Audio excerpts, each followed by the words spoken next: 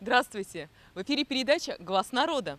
Сегодня мы спрашиваем у архангелгородцев и гостей нашего города, что вы ставите выше – интересы государства или собственные нужды и потребности?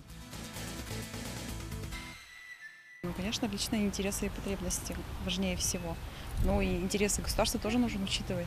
Но нужно уделить внимание конкретному а, человеку, да, кон- конкретной личности, а, какие конкретно у них проблемы. Может быть, э, в сфере жилищного права, да, допустим, проблемы, нуждается в жилье, может быть, э, нуждается в какой-то операции конкретно. Да.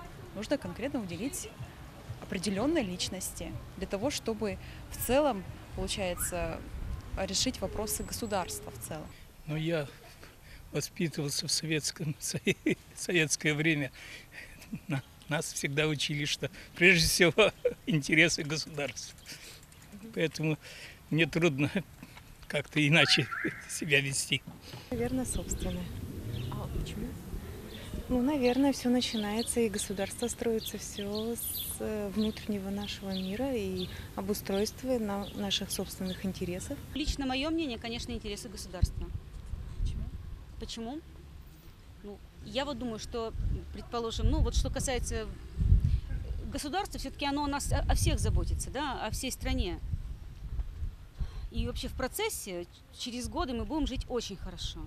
Очень хорошо. Вообще все люди. Ну, все, кто хотят. Там, те, кто хотят учиться, работать, соответственно, зарабатывать. Вот такое мое мнение. Поэтому, конечно, только государство. Интересы государства, конечно, важнее. Безусловно. Ну как, это интересы всех в итоге. Личные интересы, они более узкие, все-таки интересы государства распространяются на все сферы жизни. Давно уже считаю, что именно собственные потребности и нужны.